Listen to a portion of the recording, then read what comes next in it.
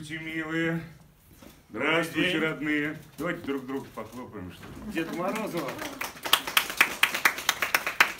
Я прошу прощения за опоздание всегда думаю, что будут мои юные друзья-помощники.